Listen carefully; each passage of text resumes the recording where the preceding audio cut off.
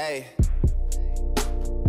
Truck to the plane, to the truck, truck to the hotel lobby. Me, I go through underground garages. President. Eagles fans everywhere, this is for you.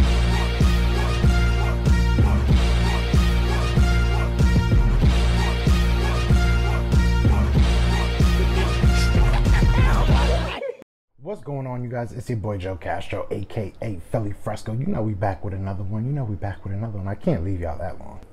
What are we gonna see out of Jalen Reagor now that he's back? You know, we, we just got the news that he's gonna be playing Sunday night versus the Cowboys. So I went ahead, pulled some of his film. So I'm gonna go through every play that well, every catch that he's gotten so far, and I'm gonna break it down and kind of predict uh, what he's going to be looking like for the Dallas game. Now, if you are new, please hit that subscribe button. We're growing every day. I appreciate you guys. And um, if you you know if you like the video, please hit that like button. If you dislike it, there is a dislike button. You know what I'm saying? It, it's feedback. But um, yeah, so let's get right into it. The first play is going to be one that I feel like everybody is going to think that this is going to be the norm. All right. If you look at it, this is him just getting a bomb. I believe this was like 50 yards if you look at the route, that's what I really want to key in on, and especially the break point. So, all right, obviously he gets off the line quick. He has really nobody on him, no press. So it's just running. So he runs, runs, runs. I want to stop it right there when he's at the 40.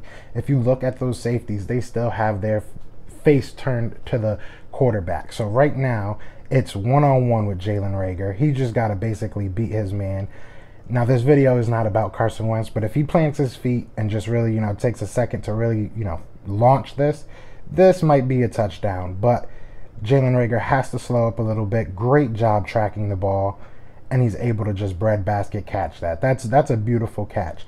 I know that's what a lot of you know Eagles fans want to see, but I feel like these next couple are a little bit more realistic of what we'll see from him. That was his only catch in that game. Now we go to the Rams game this first play, you're going to see him motioning. So he's motioning out to the flat. Just just runs a quick little flat route. He's really not doing anything special. Catches that ball in stride. A good a good throw. Could have been a little bit better. I'm not going to hear sit here and nitpick um, Wentz, but and he's able to you know just run in, in space and get that first down. This is what I think you're going to be seeing a lot of. Um, if you look at the line, and I, I, want this to be an option that, you know, because if you look at all of the linebackers, and we'll look at it from the back angle because I think that's the best way to see that. Um, if you look at it from the back angle, all the linebackers just, they bite on the run hard. The whole defense really just bites on the run hard, other than the people that are in man. Um, so Jalen Reagor just has space, you know, but if they don't bite, um, I think that's something that you, you, you can hand it off to um, Miles and let him get some yards. Hope hopefully Miles is back this week as well at 100%. Now this next one is another one you see DeSean Jackson motioning out. This one is one of those plays that it's like you're yelling at the TV, no, no, no, but Carson makes a beautiful throw.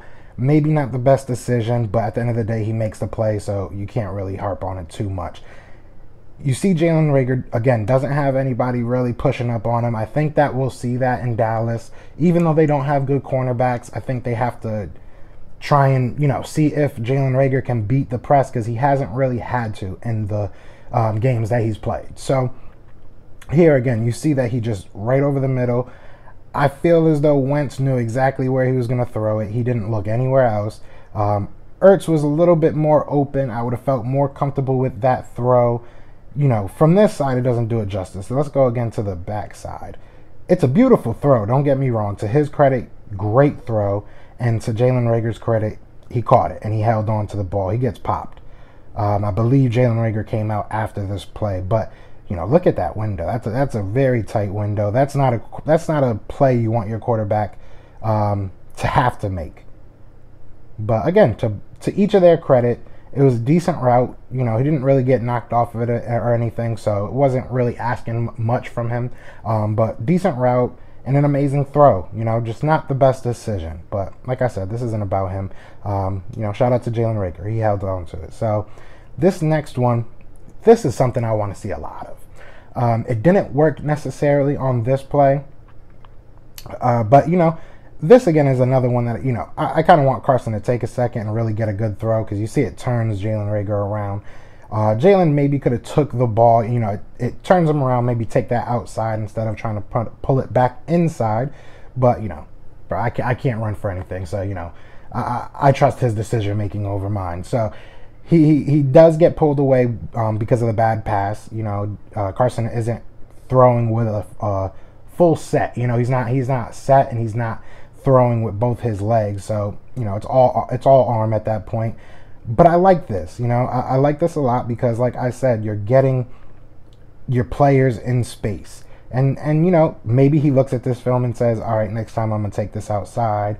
Maybe Carson looks at this film and says, "Let me just step up in the pocket for a second and throw it a second later when I can really set my feet and get a better pass off." Because it's a short throw, an easy throw, but at the same time, you know, inches, inches. It's a game of inches.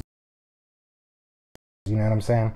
Um, but that's something I think we're gonna see a lot of. Now, this next one again against the Rams. This was his last game. You see Miles Sanders just gets out there again, just getting your guy in space. There's nobody around him. Um, you know, you see the the lineman trying to pull. That's going to probably be the biggest problem with trying to run plays like this. Is you're going to be asking Jason Kelce and you're going to be asking Nate Herbig to be really on the move most of the game with um, plays like this. But you see, he's nobody's around him you know, if if Kelce, I believe that is, and correct me if I'm wrong. I'm pretty sure that's Kelce right there. Just late on the block. I'm not blaming him. It is what it is.